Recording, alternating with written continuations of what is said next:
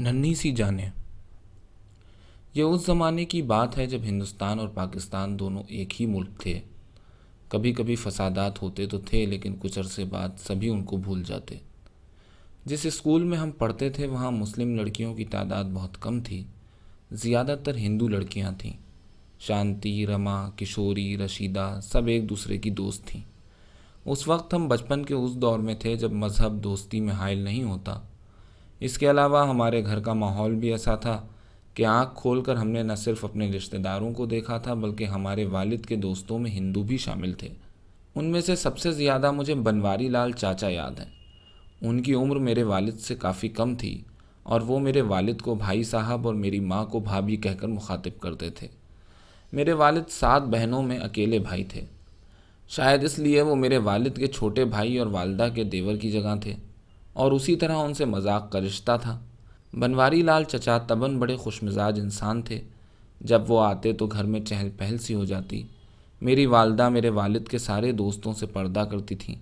लेकिन सुना है जब मेरे वालदेन की शादी हुई तो बनवारी लाल चाचा की उम्र कम ही थी। और जिस दिन मेरी वालदा रुखसत होकर आईं, उस दिन से उनसे इस मोहब्बत से मिले थे कि पर्दा करने का ख्याल उन्हें कभी आया ही नहीं। वैसे भी मोहल्ले के लड़के थे, बचपन से घर में आते जाते थे। ख़ानदान की सारी औरतें उनसे मानूस थीं, लेकिन अब वो जवान हो चुके थे और वकील थे। उनकी शादी हो चुकी थी और बड़ी कामयाब प्रैक्टिस थी, लेकिन उनका हम सब के साथ सलूक बदला नहीं था। जब वो घर आते तो सबसे पहले मेरी वालदा से फरमाइश होती, भाभी, पान खिलवाइए। आपके हाथ के पान का मज़ा ही और होता है। फिर हम सब बच्चों के साथ बच्चा होकर खेलते। उन्हें हर एक के दिल में जगह करने का गुर आता था। उनकी शादी कम उम्री में ही उनकी वालदा के इसरार से उनके करीब के गाँव के ज़मींदार की इकलौती बेटी से हो गई थी। और जब वो रुखसत होकर घर आईं तो हमें एहसास हुआ कि बनवारी लाल चचा की तरह वो भी सबके दिल में जगह करने का राज जानती हैं। बनवारी लाल चचा दराज कद और सांवले रंग के जवान थे और उनकी बीवी छोटे से कद की गोरी चिट्टी बड़ी बड़ी आँखों वाली लड़की थी। उनका बड़ा खूबसूरत बाग था, जहाँ बनवारी लाल चचा हमें अपनी टमटम में बिठाकर आम और खरबूजे खिलाने और बरसात में झूला झुलवाने अपने साथ ले जाते थे। होता यह था कि कभी कभी बनवारी लाल चचा कचहरी से काम ख़त्म करके किशोरी चाची के साथ हमारे घर रुकते हुए हमें लेकर अपने बाग में चले जाते और हम वहाँ बाग में झूला झूलते या पेड़ों के घने झुंड में आँख मिचोली खेलते। हम भाई बहनों के अलावा और बच्चे भी जो बाग के पास रहते थे, आ जाते थे। बाग के दरमियान में एक अंग्रेज़ी तर्ज का छोटा सा बंगला था। दो तीन छोटे छोटे कमरे, बावरची खाना गसल खाना और उनके चारों तरफ़ कुशादा बरामदा, जहाँ तरह तरह के पेड़ों और पौधों के गमले सजे हुए थे। और बरामदे के चारों तरफ़ फूलों की क्यारियाँ थीं, जिनमें लगी हुई जूही, चमेली और इश्क पेचा की बेलें बंगले की दीवारों से बढ़कर उसकी फूस की छत पर फैली हुई थी। मुझे अब भी याद है, उनमें बयों और दर्जी चिड़िया ने अपने घोंसले बना लिए थे। उन घोंसलों को छूने की किसी को इजाज़त नहीं थी। ये ख़ास तौर पर किशोरी चाची की हिदायत थी। बारह घोंसलों के पास दाना डालने के बाद हम उनके साथ बड़ी खामोशी से बरामदे में बैठ जाते और बयों और दर्जी चिड़ियाओं को उनके घोंसलों से निकलकर दाना चुगते हुए देखते। या शाम को दूर मगरिब में सूरज गुरूब होते वक्त जब माली गमलों में पानी डालने आते तो चिकने चिकने पत्तों पर पड़ती हुई बूंदें मोती बनकर बिखर जाती। सूरज की रोशनी में उन मोतियों की तस्वीर अब भी मेरी बचपन की यादों में महफूज है। उन्हीं यादों में दो छोटे छोटे बकरी के बच्चों की भी याद शामिल है। हुआ यह कि बनवारी लाल चाचा के गाँव से कोई किसान दो छोटे छोटे बकरी के बच्चे बेचने आया था। उस वक्त मेरे वालिद भी बनवारी लाल चाचा के यहाँ मौजूद थे। बनवारी चाचा ने मेरे वालिद से कहा, भाई साहब, आप इनको ले लीजिए। खा पी कर एक साल में बड़े हो जाएँगे और बकरा ईद की कुर्बानी के वक्त काम आ जाएँगे। मेरे वालिद को ये राय पसंद आ गई और बकरी के बच्चे हमारे बाग में लाकर उस हिस्से में बाँध दिए गए, जहाँ टमटम का घोड़ा, बैल और गाय बनते थे। बकरी के बच्चे अभी बहुत छोटे थे।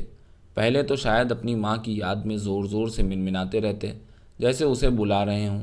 फिर थक कर एक दूसरे से लिपट कर सो जाते तो ऐसे प्यारे लगते। कुछ दिन बाद हम लोगों से मानूस हो गए और हमारे पीछे पीछे इस तरह भागते जैसे हिरन के बच्चे हों।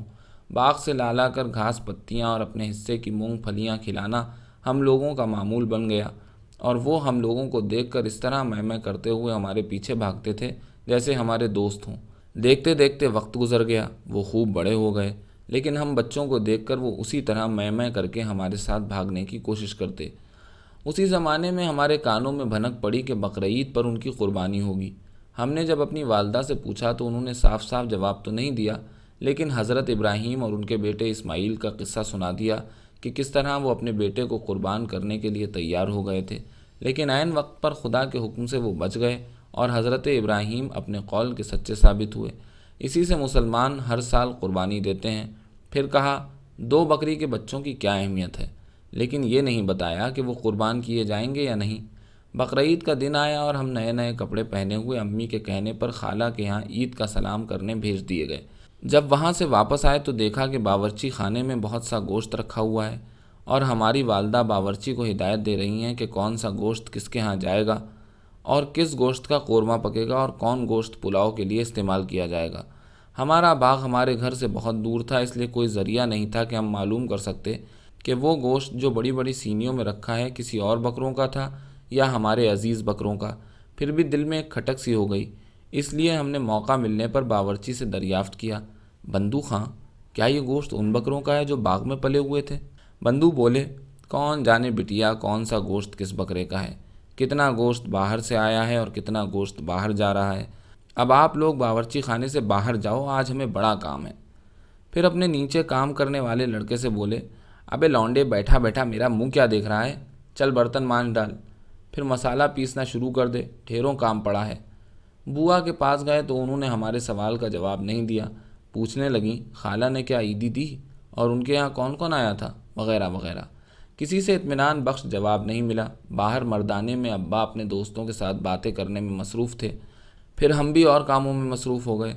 दूसरे दिन इतवार था। आम तौर पर उस दिन हम अपने अब्बा जी के साथ बाग जाया करते थे।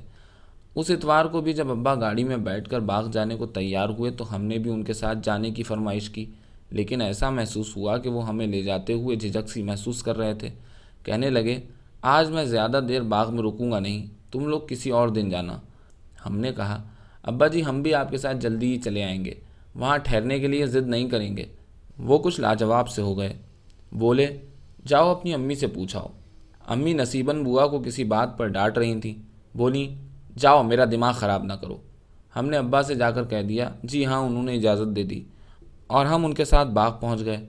गाड़ी से उतरते ही हम उस तरफ़ भागे जहाँ जानवरों का बाड़ा था। घोड़ा, गाय और बकरी के बच्चे बंधे रहते थे। जो हमें देखते ही मैं मैं करते भागने की कोशिश करते थे। लेकिन आज वो खाली खाली था। गाय नांद के पास बैठी जुगाली कर रही थी और बकरों का खोंटा खाली था। मंगलू माली बैठा बैठा कुट्टी काट रहा था। हमने कहा, मंगलू, बकरी के बच्चे कहाँ गए? उसने हाथ रोक लिया। फिर हमारी तरफ़ देख कर बोला, उनकी तो कुर्बानी हो गई। तुम्हें मालूम नहीं? फिर बोला, तुम लोग दूर हटकर खड़े रहो। कहीं आँख वाँख में कुट्टी ना पड़ जाए। और फिर कुट्टी काटने में मशगूल हो गया। हम भागते हुए पेड़ों के झुंड की तरफ़ चले गए। मेरे भाई ने जेब से मूंगफलियाँ निकालकर उन्हें देखते हुए इस तरह कहा, जैसे ये कोई बड़ा मसला है। मैं तो मूंगफलियाँ उनके लिए लाया था। अब क्या करूँ इनका? उसकी आवाज़ रूंधी रूंधी थी। लेकिन बजाय हमदर्दी ज़ाहिर करने के, मैंने उससे चिढ़ कर कहा, जैसे बकरी के बच्चों की कुर्बानी, उसका ही कसूर हो। खुद ही खा जाओ, तुम तो पेटू हो। उसने मेरी तरफ़ सवालिया नज़रों से देखा। जैसे उसकी समझ में नहीं आ रहा था कि मैं उससे खाम खां क्यों नाराज़ हूँ। फिर मूंगफलियाँ उसने ज़मीन पर गिरा दी और आहिस्ता आहिस्ता चलता हुआ अब्बा जी के पास चला गया। मेरी बड़ी बहन का चेहरा सुर्ख हो रहा था। वो बोली, अब्बा से कहेंगे, अब कभी बकरी के बच्चे हम नहीं पालेंगे। चारों तरफ़ खामोशी छाई हुई थी। नीम के घने घने पेड़ों से छन छन कर रोशनी की जाली सी पत्तों और निबोलियों से ढकी हुई ज़मीन पर पड़ रही थी। हर तरफ़ सुकून था, लेकिन मुझे महसूस हुआ जैसे हर चीज़ खामोश हो गई है। सिर्फ़ कुट्टी काटने की आवाज़ खामोशी और सुकूत को काटती हुई हमारे पास आ रही थी। खट खट खट। बरसात का मौसम ख़त्म हो चुका था। हवा में बड़ी खुशगवार खुनकी आ चुकी थी। उस दिन इतवार का दिन था। हसब मामूल अब्बा जी सुबह उठकर बाग जाने की तैयारी कर रहे थे। हम भी उनके साथ सुबह सुबह बाग चले जाते थे। अपनी आदत के मुताबिक वो बागबानी में मशगूल हो गए, लेकिन हम कुछ बेमसरफ से इधर उधर घूम रहे थे। पहले उस तरफ़ चले गए, जहाँ नहाने के हौस के पास की खाई में केले के पेड़ों की कतारें लगी हुई थीं।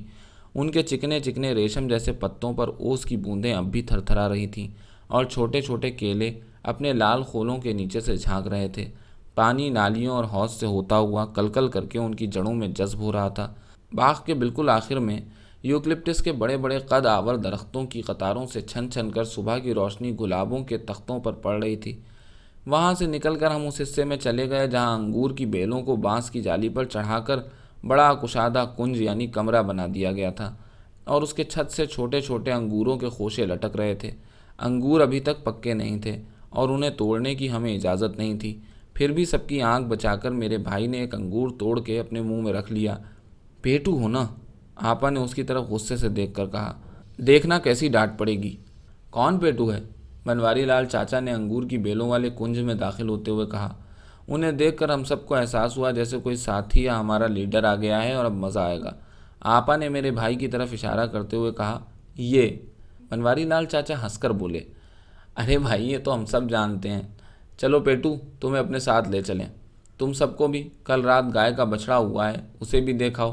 तुम्हारी चाची बाग में ही तुम्हारा इंतज़ार कर रही हैं। बनवारी लाल चाचा का बाग हमारे बाग से दूर नहीं था। हम टहलते हुए वहाँ जल्दी ही पहुँच गए। बाग के फाटक से दाखिल होकर हम बंगले की तरफ़ दौड़ते हुए चले गए, जहाँ किशोरी चाची हमारा इंतज़ार कर रही थी। वो लाल किनारे की चंपई साड़ी पहने थी। उनकी मांग में सिंदूर और माथे पर लाल टीका दमक रहा था। ऐसा लगता था वो पूजा करके उठी हैं। हमें देखकर उन्होंने पास रखी हुई पीतल की चमचमाती हुई थाली उठा ली, जिसमें केले के पत्ते पर पीले पीले बूंदी के लड्डू और दही रखा था। इसके अलावा एक छोटी सी डिबिया में सिंदूर और उसके पास ही गेंदे के फूलों का एक छोटा सा ढेर लगा था। वो बोली, चलो तुम भी गाय का बछड़ा देख लो। कल रात ही हुआ है, बड़ा मुन्ना सा है। अभी तो बड़ी मुश्किल से खड़ा हो सकता है। फिर आकर प्योली और मिठाई खाना। प्यूरी के मानी है नई ब्याई गाय का जो दूध उबाला जाता था और वो उबलने पर फट जाता था। फिर पानी अलग करके उसे खोई की तरह खाया जाता था। फिर वो थाली उठाकर उस तरफ़ चल दी जहाँ गाय बंधी हुई थी। आज वो चप्पल नहीं पहने थी। उनके पैर सुर्ख महावर से रंगे हुए थे और चांदी की चमकती हुई पाजेबें उन्हें बड़ी अच्छी लग रही थी। हमने देखा, गाय को और जानवरों से अलग लाकर खड़ा कर दिया गया था। एक नौकर उसकी पीठ पर हाथ फेर रहा था जैसे उसे शाबाशी दे रहा हो। वो शायद चाची का ही इंतज़ार कर रहा था। गाय सबसे बेनियाज अपने बछड़े को ज़बान से चाट रही थी। वो इतना कमज़ोर लग रहा था कि मुश्किल से अपने पैरों पर खड़ा हो सकता था। सुबह के सूरज की रोशनी में वो दोनों ऐसे अच्छे लग रहे थे और बछड़ा नन्ही सी जान तो ऐसा प्यारा लग रहा था कि जी चाहा उसे गोद में उठा लूँ। चाची को देखकर नौकर ने बछड़े को ज़रा दूर कर लिया, लेकिन ऐसा लगा यह गाय को अच्छा नहीं लगा। बड़ी बड़ी काली काली आँखों से उसने माली की तरफ़ देखा, जैसे उससे पूछ रही हो, क्यों दूर हटा दिया मेरा बच्चा मुझसे? चाची आगे बढ़कर हाथ जोड़कर आहिस्ता आहिस्ता जेरे लब कुछ पढ़ती रहीं। फिर सिंदूर से उन्होंने गाय के माथे और सामने के खुरों पर टीके लगा दिए। और गेंदे के फूल उसके सर पर चढ़ाकर केले का पत्ता जिसमें दही और लड्डू रखा था, उसके सामने रख दिया और हाथ जोड़कर पीछे हट गईं और बछड़े की पीठ सलाने लगी। हम सब खड़े खड़े देखते रहे, लेकिन उनकी पूजा की वजह हमारी समझ में नहीं आई। हाँ वो हमें बड़ी खूबसूरत लगी। चंद महीनों बाद हमें अम्मी ने बताया कि बनवारी लाल चाचा के यहाँ बेटा हुआ है। हम सब उसकी छुट्टी पर तोहफे लेकर गए तो देखा कि चाची उसे गोद में लिए बैठी थी। मैं वहीं उनके पास आलती पालती मारकर बैठ गई। ज़रा सी देर के लिए चाची ने उसे मेरी गोद में लिटा दिया। वो इतना मुन्ना और प्यारा था। मेरा बस चलता तो मैं अपने घर ले आती। आज भी चाची की पूजा याद आती है तो सोचती हूँ, शायद पूजा के रूप में एक होने वाली माँ, एक नई नवेली माँ को मुबारकबाद दे रही थी। ये भी सोचती हूँ कि हम कितने खुशकस्मत थे कि बिला इम्तियाज़ मज़हब हमें वो शफ़क़तें, दोस्तियाँ और मोहब्बतें हासिल थीं और वो उस वक्त तासुबात के बोझ के नीचे दफ़न नहीं हो गई थीं।